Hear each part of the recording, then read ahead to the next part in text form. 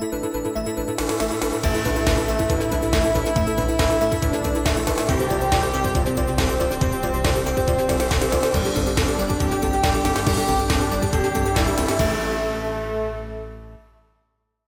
Klaudia Sedlaczek-Hebda. Witam Państwa w środę 20 marca i zapraszam na najnowsze wiadomości. Rozpoczynamy Jawor Express. Zawiadomienie o możliwości popełnienia przestępstwa związanego z niegospodarnością złożył radny Jerzy Nieużyła, który interweniuje w sprawie rowu mającego odprowadzać wodę z odpadów przy ulicy Kolorowej. Wystąpiłem do prokuratury z zawiadomieniem. Mam, mam je właśnie przy sobie o podejrzeniu popełnienia przestępstwa niegospodarności, marnotrawienia pieniędzy publicznych oraz świadome narażanie mienia mieszkańców na uszczerbek z powodu zalewań i podtopień wskutek intensywnych opadów. Idąc w dół ulicy Kolorowej, natrafimy na rów, który ma odprowadzać wody opadowe spływające z osiedla. W 2010 roku mieliśmy w maju e, powódź e, w całej Polsce. Tutaj u nas y, były rozpoczęte budowy właśnie na, na tym osiedlu nowym i wszystkie te budowy były, to znaczy mm, wykopy praktycznie, były zalane wodą w trakcie te, tej powodzi. Po tym doświadczeniu miasto zaprojektowało cały system odwodnienia tego terenu. System składał się właśnie z rowu odwadniającego, który biegnie od Kozibrodu właśnie tutaj do, w okolice tak zwanej Strugi i były zaprojektowane drogi z odwodnieniem, drogi osiedlowe z odwodnieniem deszczowym. Ten rów został wykonany przez miasto jako pierwszy etap tego projektu w 2015 roku. Natomiast pozostałe drogi nie zostały wykonane zgodnie z projektem, tylko zostały wykonane w technologii dróg gruntowych, czyli y, bez odwodnienia deszczowego. Zgodnie z planem, o którym mówił radny dzielnicy, miały one spływać systemami odwadniającymi wzdłuż drogi i trafiać do kolektora. Z niego rowem ma podążać do wybudowanego zbiornika na wodę deszczową, żeby przeciwdziałać zalaniu okolicy. Tak miało być. W rzeczywistości infrastruktura do odprowadzania wody przy drogach nie istnieje. W tej chwili właśnie brakuje tej części, całej infrastruktury, która ma doprowadzić e, wody deszczowe z ulic e, osiedlowych do tego rowu a tego nie ma i, i, pewnie nie będzie, ponieważ y, w zeszłym roku, końcem zeszłego roku miasto y, wykonało nakładki asfaltowe na e, dwóch ostatnich drogach y, z całości osiedla. Konkretnie to chodzi o drogi kolorowa, prosta, piękna i pogodna. Radny zwracał uwagę, że także kolektor nie istnieje, o czym świadczy fakt, iż tunel, którym woda miała być odprowadzana do rowu, stoi zaślepiony. Zresztą sam rów jest także porośnięty trawami i dość dużymi drzewami, co wskazuje na jego zaniedbanie.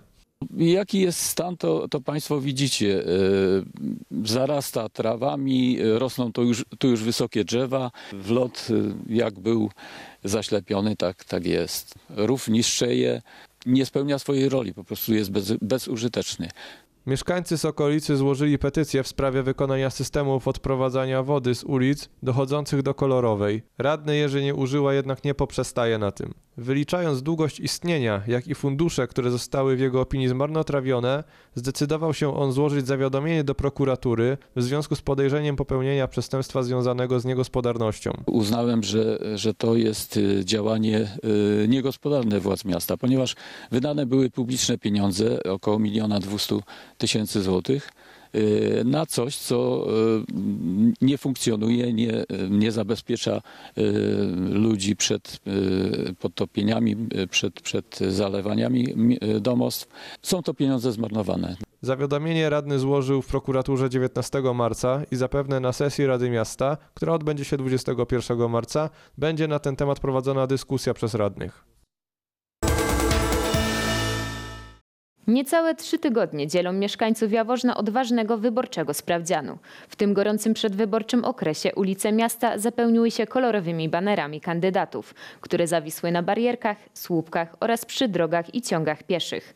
Choć ta forma promocji wyborczej może wydawać się niektórym mieszkańcom skuteczna, to nie brakuje głosów, które zwracają uwagę na ich ogromną ilość i zaśmiecanie przestrzeni publicznej.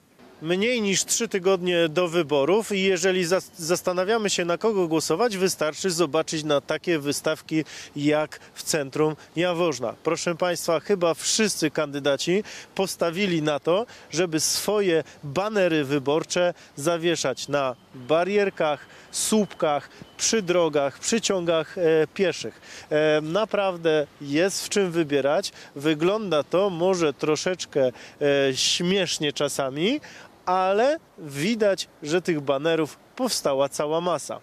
No jest, jest tego troszkę. No i co ładnie? No, no raczej no, no jak banery, no, no, no, no. Co zrobimy jak wybory? Muszą być, byle potem było posprzątane. Nie, nie podoba mi się to. Ale można sobie stanąć, pooglądać jak No, można, wyglądają. Jeśli kogoś interesuje polityka, mnie osobiście nie interesuje. Wiele osób mówi, że nie ma w tym nic złego, ale w niektórych miejscach te banery utrudniają widoczność, szczególnie dla kierowców. Wygląda to estetycznie? No nie bardzo, nie bardzo. Przeszkadza kierowcom na pewno. Na pewno. Są w takich miejscach dziwnych, że nieraz nie widać jak wyjechać.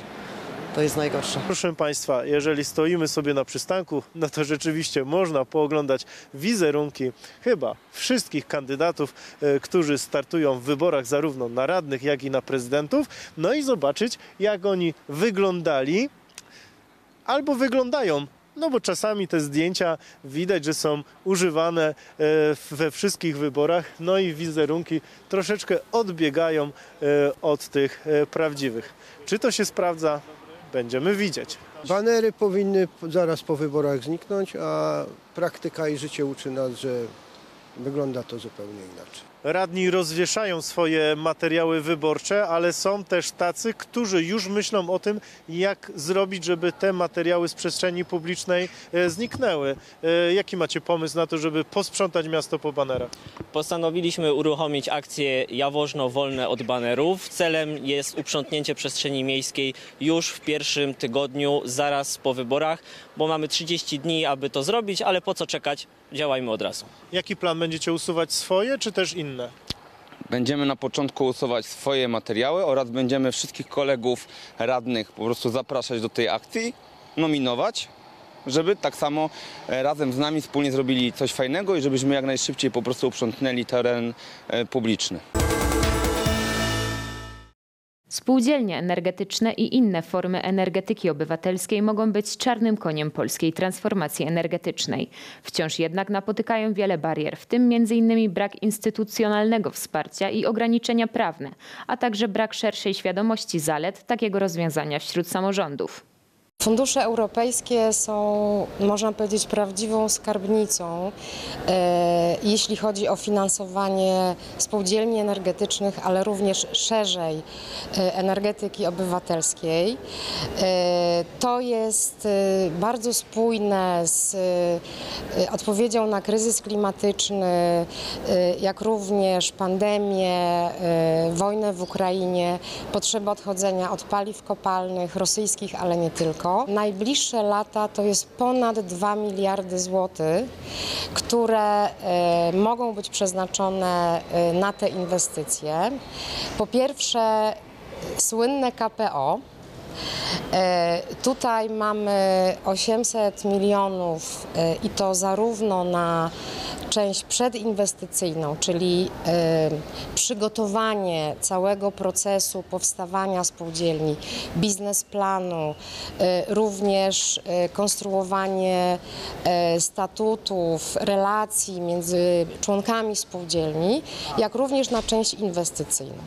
Następne wiel- wielkie źródło to Fundusz Modernizacyjny, to są też środki europejskie e, i bardzo duży program Energia dla Wsi. To jest miliard złotych. Unia chce, żeby w każdej większej gminie powstała społeczność energetyczna. W Polsce gmin wiejskich i wiejsko-miejskich, gdzie można tworzyć spółdzielnie energetyczne zgodnie z obowiązującym teraz prawem, mamy ponad 2000. e, w tym czasie działających, zarejestrowanych e, spółdzielni e, mamy nie, mniej niż 50 i cały czas ta liczba rośnie.